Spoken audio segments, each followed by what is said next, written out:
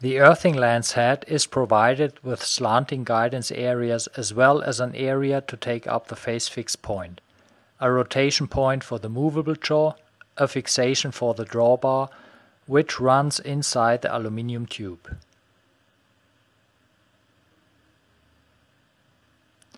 A fixed jaw on the left and on the right side, between them a center movable jaw. The cone-shaped tip facilitates introduction into the earth fix point.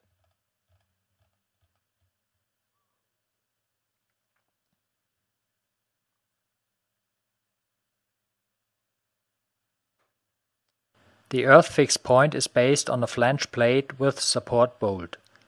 The bolt carries a groove for safe fixation of the earthing sleeve.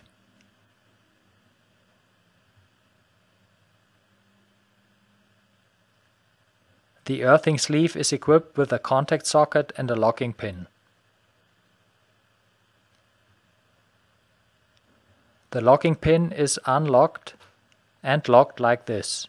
On the firmly assembled variation of the earth fix point it is not possible to unlock the locking pin manually. The detachable variation can be plugged onto the support bolt easily.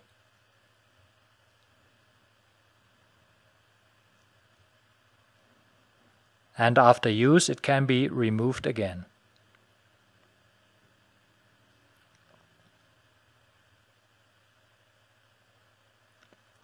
The flange plate is provided with a take-up boring for the limitation bolt. The limitation bolt is equipped with a lock nut. Lateral guidance areas serve as limitation of the rotation angle. The rotation angle is approximately 70 degrees to both sides.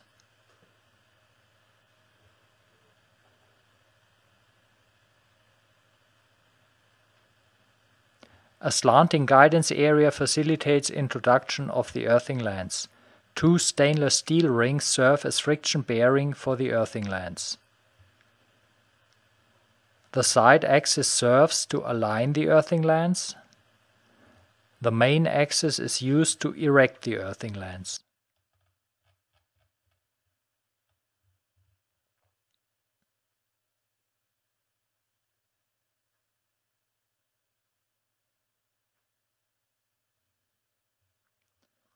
Inside the contact area for the earth fix point, spreading wedges are mounted in three places. The contact tube is slotted longitudinally onto opposite sides.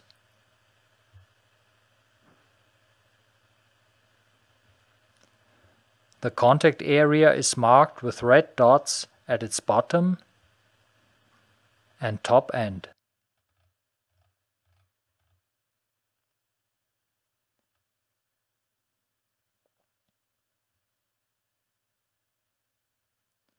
We offer phase fix points for tubular bus bars, for single, double and triple conductors, and also fixed points for flat connections in different dimensions and models.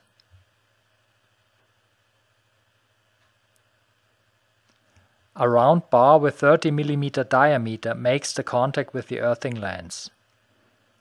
Clear height and clear width are adjusted to the requirements of the earthing lance. Spherical edges reduce the danger of partial discharges.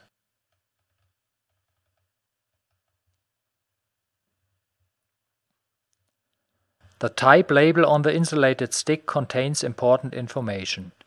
The limitation disc marks the end of the handle section.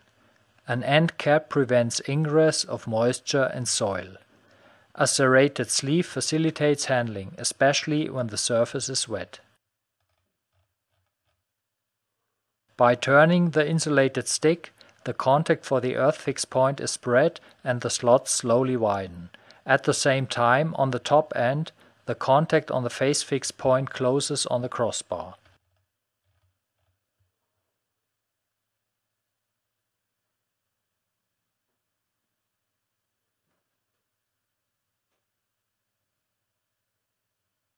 When correctly applied, The earthing lance carries short circuit currents of up to 80 Ka for half a second.